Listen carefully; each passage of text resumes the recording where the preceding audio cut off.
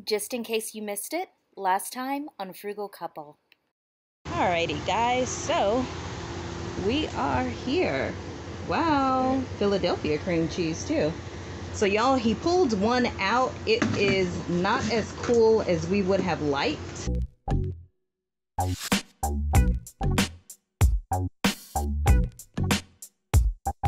Hey guys, before we get started, uh, we have a subscriber on here by the name of Dana, who's a longtime subscriber, always comments, so sweet, and she just let us know that she's actually in the hospital with COVID right now in ICU. So you guys, please join me in praying for Dana that we already know everything's going to be fine, right? Because we know who's in control. Okay, so just send some prayer requests her way. If you don't believe in praying, if you could send some positive thoughts, that would be great too. Dana, we love you. Get well soon, girl.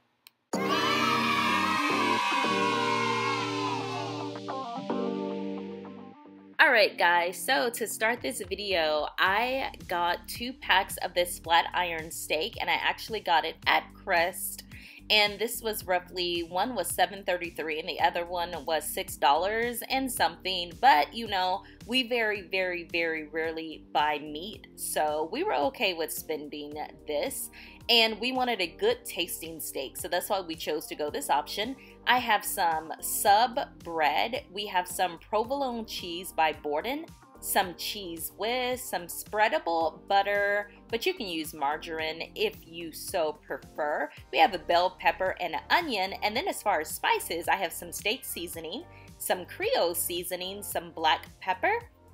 We have some onion powder and some garlic powder. And then, of course, last but not least, we have some Worcestershire sauce as well. And this is all you need to get this sandwich up and going. You guys, it's to be so good. I can't wait.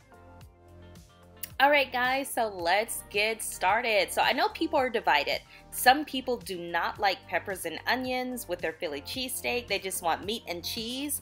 I love the peppers and onions. I feel like it definitely helps to make the sandwich. So I am just going to um, thinly slice a bell pepper and an onion, depending on how much you want, like mixed in with your meat. Basically, you can do a whole pepper and a whole onion, or you can just do like half and half. I like a lot of it, so like I said, I went ahead and did a whole one, and I'm just going to put it in a pan with some butter. I put my bell peppers first just because they take a little longer to cook, and then my onion.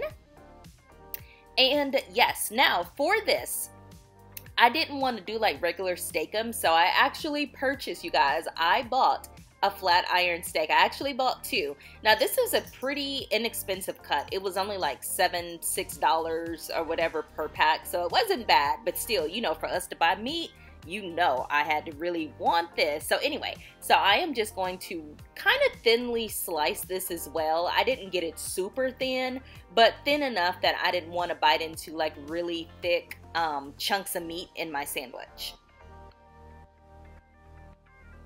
So I was just going to do one steak to start. However, I was like, I might as well do both. That way we can eat as much as we want and then we have some for leftovers and I don't have to recook it.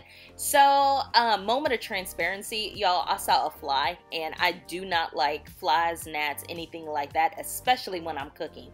And when I see one, y'all, I promise, I, everything has to go in Ziploc bags until I kill it. So that's why I put that meat in the Ziploc bag, just because I didn't know where he flew to. But I went ahead and cut this extra steak as well, um, because yeah, it was gonna get eaten.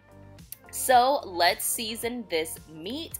First of all, I'm going in with some Worcestershire sauce. I said that all wrong, sorry. And I'm using about maybe a tablespoon of that just to give uh, the seasoning something to kind of stick to, I'm going in with some freshly cracked black pepper as well. You don't have to super season your meat. You just want it to have a little, you know, bite, a taste to it. Going in with some Creole seasoning, and that is Tony Chachere's, my absolute favorite. Then I'm going in with the steak seasoning that I actually got at Aldi's. It was only 99 cents, you guys, and I would compare this to the McCormick brand. It is so good and so much cheaper. And of course, I'm going in with my holy grail some um, garlic powder, that is great value from Walmart, and then also some onion powder that is Spice Classics. I think I got this at Crest. It was still like 89 cents, so it's not expensive at all.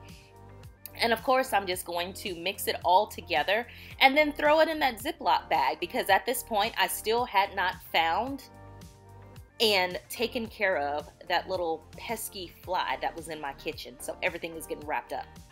It's also up to you how done you want your peppers and onions. Some people like a little bit of a bite.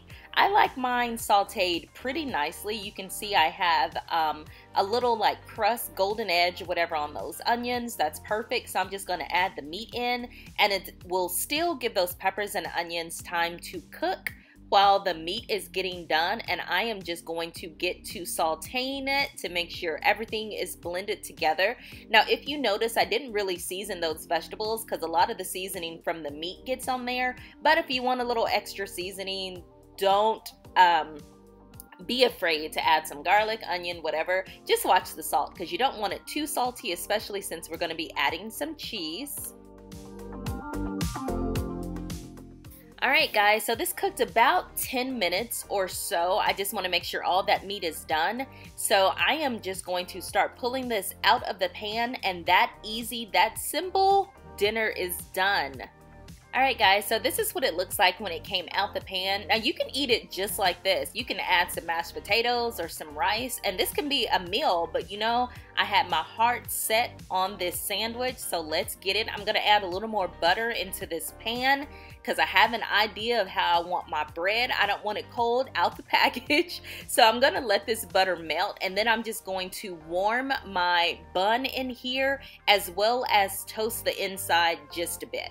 Alright guys, and of course, even though I'm making a video, I gotta keep it real. I used a paper plate, and you just pile your meat on this sandwich, and oh my goodness, y'all, it is so good. Now, I don't worry about buttering my buns at this point because, you know, I just toasted them in butter, and I'm gonna be putting cheese on here as well. So to me, there's no need to, but you know, do what you prefer. I'm using some Borden provolone cheese, and I'm just putting that right there.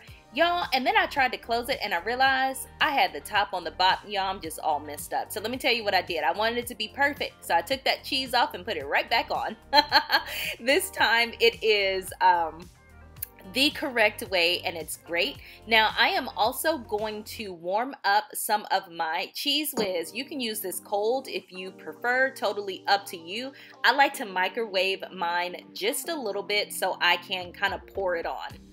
I only microwaved it about 20 seconds, but while I am doing that, I'm just gonna put the rest of my meat up, let it cool off just a bit, and then stick it in the fridge, just trying to multitask so I don't have so much to do at the end of the day. Alright guys, now listen, I know this is a family channel, but put your kids up because it's about to get real X-rated here. Look at how this cheese, poor, I can't believe I just said that, but it's so, oh my god. Look at this cheese, you guys. Check this out. Look at that. That that gives me the Philly cheesesteak experience. Hold on, let me do it in reverse for you just so you can see it again. Like, oh my gosh. Y'all looking at this just makes me realize how freaking good this was. This was so good. Oh my goodness, this was so good. I want to make another one very soon. Look at that. Each bite had the meat in it, it had the cheese in it. It was just perfect. But I wanted to show you guys because trust me, we ate this till it was gone. Now the next day we wanted it again, but you know it was cold and I didn't really want to microwave it be, microwave it because I felt like it made it too tough, the steak. So I'm showing you how I warm it up. I just put a little bit of meat in the pan and I put some of the provolone cheese on top and just melted it in the pan. Look at that. Oh my goodness. Y'all, it was so good. Babe thoroughly enjoyed this. So did I. And of course, we're not done because you already know I had to put some of the Cheez Whiz on top. Y'all, look how good this looks. Oh my gosh. This is ridiculous. It was so freaking good. But I had to put some of the Cheez Whiz on top and it was absolutely perfect. And I also toasted the bun. I just didn't show you guys again since I showed you before, but I felt like the toasted bun really makes the sandwich.